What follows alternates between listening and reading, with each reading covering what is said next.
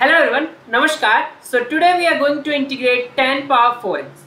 So what we have done till now, we have integrated successfully up till 3 powers of tan. That is what you did when you had integral of tan x dx. This is minus log cos x or log secant x, but how you got that? You write this as integral of sin x divided by cos x and then you uh, proceed by taking cos x as t. I will not tell uh, afterwards, you can do this. Now when you saw integral of tan square x, how you proceeded? You wrote this as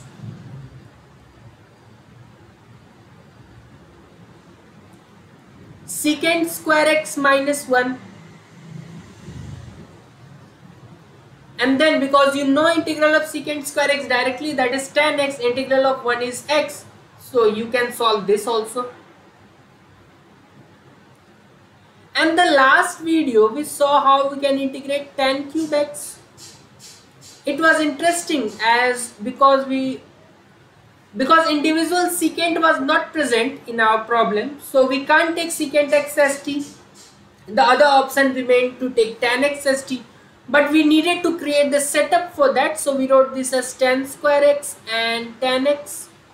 Then we wrote this tan square x as secant square x minus 1 and tan x. And rest is history. You can uh, always go and watch that video. You can solve it from here. I hope it's clear to you.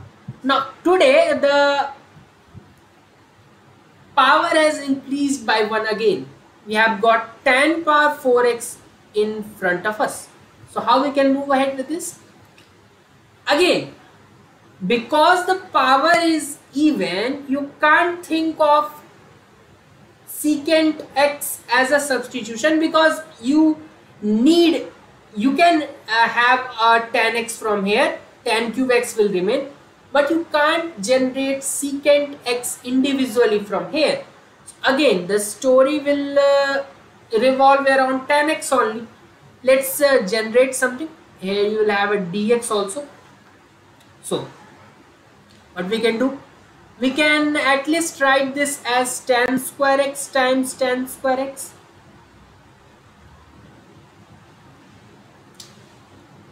One tan square x can be written as secant square x minus 1 we don't need to write both of them because then it will again be a problem. So just writing any one of them as secant square x.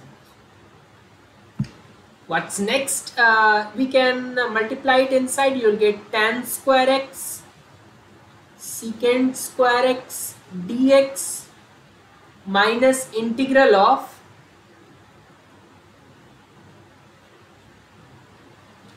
you multiply tan square x by secant square x and you multiplied this now it is looking a bit easier for you because tan derivative is secant square x.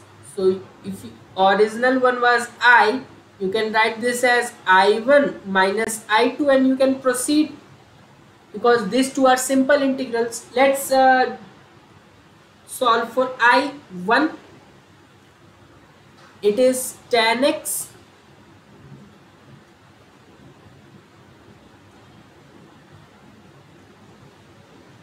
tan square x and secant square x dx. It's easy right? Uh, you can take tan x as t so as to get secant square x dx as dt. Now this becomes uh, t square dt simply which is nothing but t cube by 3 and t was nothing but you can take c1 as a constant because you are going to get two constant one each from i1 and i2 we can merge that to some other constant c later so this will be tan cube x divided by 3 plus a constant c. This is what uh, we got for i1 now let's uh, solve for i2 as well. What was your i2 your i2 was tan square x integral of tan square x dx again this is not at all difficult. That's why I recapped. When I discussed after tan I just did a recapitulation of tan square x. So this idea is working for us in this question so we wrote this as secant square x minus 1 secant square x integration you know tan x and that of 1 is x. So this you are getting. Now finally your i was I think I1 minus I2 yes. So your I was I1 minus I2 so what is your I? It is tan cube x by 3 tan cube x by 3 plus C1 and your I2 came out to be tan x minus x plus C2 time to merge the two constant out there. So you'll get uh, tan cube x by 3 plus tan x minus x. C1 plus c2 I can write as some other constants. Fine. So this is the complete story for us. It is tan cube x by 3 minus tan x uh, you have to uh, see. Okay okay.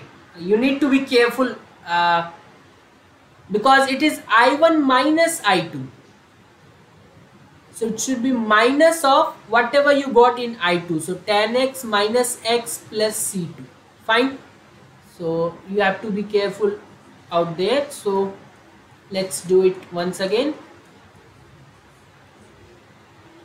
So your i is tan cube x by 3 minus tan x plus x. And again c1 minus c2 is some other constant c. Fine. This is all about this problem. Now we have moved till 4 powers. Next up we'll see the same for cot also. We have covered till 2 powers of cot till now and then you will see cot cube x cot power 4x so again, problem was looking not that easy, but the hint was there at least that we can't take secant x st because secant x tan x cannot be generated here. So anyway, we need to rearrange this so that we can take the substitution of tan x st. Okay. So this was two simple integral which we can solve individually and finally merge it to get our final integral. So you can uh, watch out more such problem in the playlist integration 2023. Do share it to your friend. Thanks again.